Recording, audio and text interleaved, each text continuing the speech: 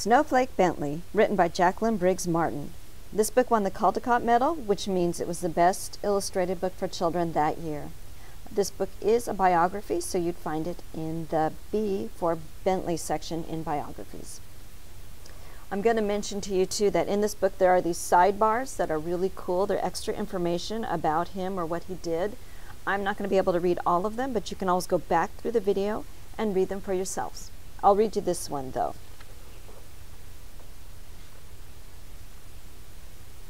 In the days when farmers worked with ox and sled and cut the dark with lantern light, there lived a boy who loved snow more than anything else in the world.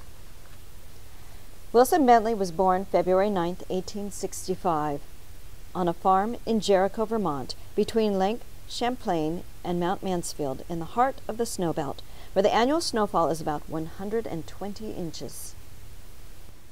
Willie Bentley's happiest days were snowstorm days. He watched snowflakes fall on his mittens, on the dried grass of Vermont farm fields, on the dark metal handle of the barn door. He said snow was as beautiful as butterflies or apple blossoms. He could net butterflies and show them to his older brother Charlie. He could pick apple blossoms and take them to his mother, but he could not share snowflakes because he could not save them.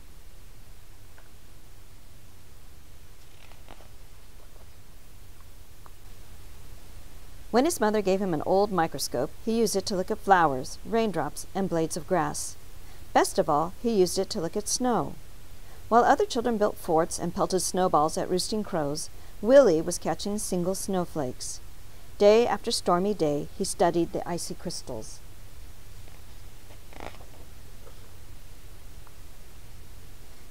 Their intricate patterns were even more beautiful than he had imagined. He expected to find whole snowflakes that were the same, that were copies of each other, but he never did. Willie decided he must find a way to save snowflakes so others could see their wonderful designs. For three winters he tried drawing snow crystals. They always melted before he could finish. When he was 16, Willie read of a camera with its own microscope. If I had that camera, I could photograph snowflakes, he told his mother. Willie's mother knew he would not be happy until he could share what he had seen. Fussing with snow is just foolishness, his father said. Still, he loved his son. When Willie was 17, his parents spent their savings and bought the camera. Okay, and over here it says the camera made images on large glass negatives. Its microscope could magnify a tiny crystal from 64 to 3,600 times its actual size. It was taller than a newborn calf and cost as much as his father's herd of ten cows. Willie was sure it was the best of all cameras.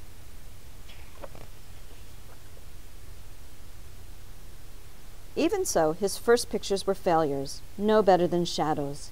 Yet he would not quit. Mistake by mistake, snowflake by snowflake, Willie worked through every storm. Winter ended, the snow melted, and he had no good pictures. He waited for another season of snow. One day, in the second winter, he tried a new experiment, and it worked. Willie had figured out how to photograph snowflakes. Now everyone can see the great beauty in a tiny crystal, he said. Over here it says Willie's experiment. He used a very small lens opening which let only a little light reach the negative, but he kept the lens open for several seconds, up to a minute and a half. And over here it says he learned, too, that he could make the snow crystal show up more clearly by using a sharp knife to cut away all the dark parts of the negative around the crystal. This etching meant extra hours of work for each photograph, but Willie didn't mind. But in those days, no one cared. Neighbors laughed at the idea of photographing snow. Snow in Vermont is as common as dirt, they said. We don't need pictures. Willie said the photographs would be his gift to the world. While other farmers sat by the fire or rode to town with their horse and sleigh, Willie studied snowstorms. He stood at the shed door and held out a black tray to catch the flakes. When he found only jumbled broken crystals, he brushed the tray clean with a turkey feather and held it out again. He waited hours for just the right crystal and didn't notice the cold. If the shed were warm, the snow would melt. If he breathed on the black tray, the snow would melt. If he twitched a muscle as he held the snow crystal on the long wooden pick, the snowflake would break. He had to work fast or the snowflake would evaporate before he could slide it into place and take its picture. Some winters he was able to make only a few dozen good pictures. Some winters he made hundreds. And over here it says, he learned that each snowflake begins as a speck, much too tiny to be seen. Little bits, molecules, of water attached to the speck to form its branches. As the crystal grows, the branches come together and trap small quantities of air. Many things affect the way these crystals' branches grow. A little more cold, a little less wind, or a bit more moisture will mean different shaped branches. Willie said that was why, in all his pictures, he never found two snowflakes alike.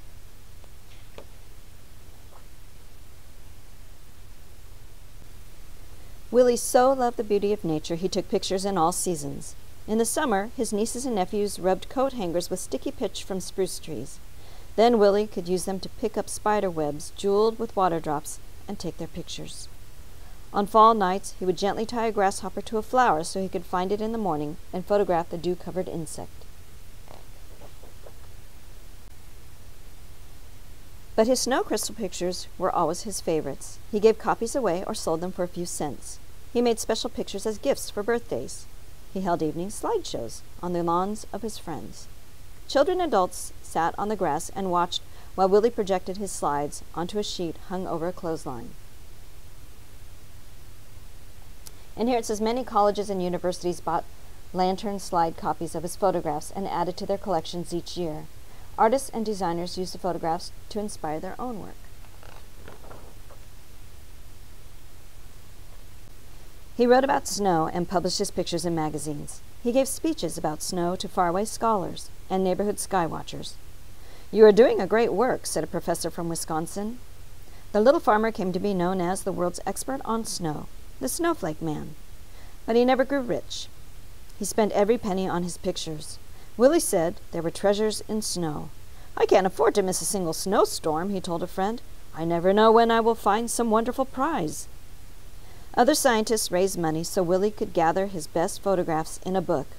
When he was 66 years old, Willie's book, His Gift to the World, was published. Still, he was not quite ready to quit. And over here it says, even today, those who want to learn about snow crystals begin with Wilson Bentley's book, Snow Crystals. And here it says, by 1926 he had spent 15,000 on his work and received 4,000 for the sale of photographs and slides.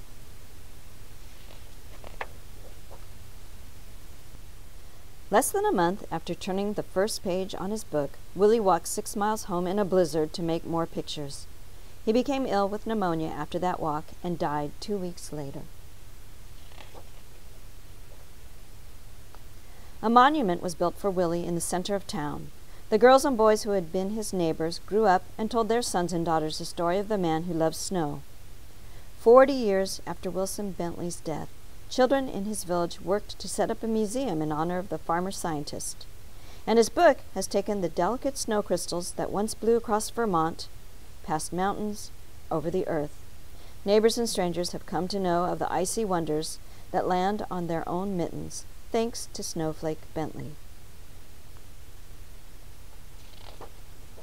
And in the back is a picture of him. There you go, with his camera. And here are some of the crystal pictures, snowflake crystal pictures he took. And here's a quote by him. The average dairy farmer gets up at dawn because he has to go to work in the cow yard. I get up at dawn too, but it is because I want to find some leaf hung with dew, or a spider web which the dew has made into the most delicate ropes of pearls. I take my camera with me, get down on my knees in the wet grass, and photograph these exquisite bits of nature. Because I do this, I can show these lovely things to people who never would have seen them without my help. They will get their daily quart of milk all right. Other farmers will attend to that. But I think I am giving them something which is just as important. W. A. Bentley.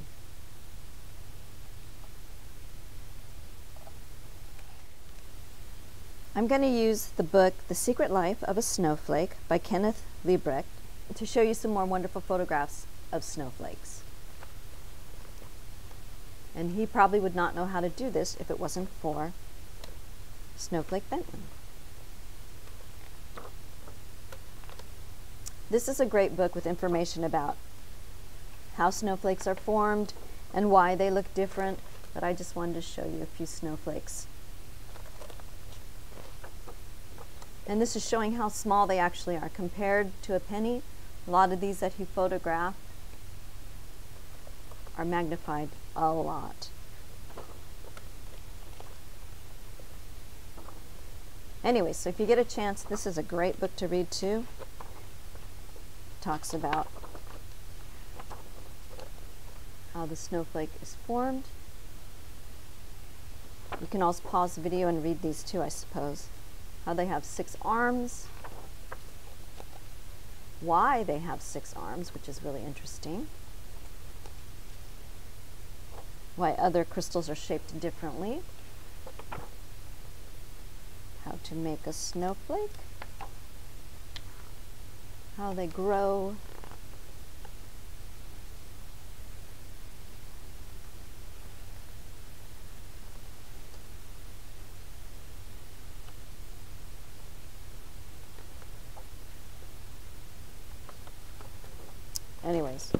quite beautiful. There you go.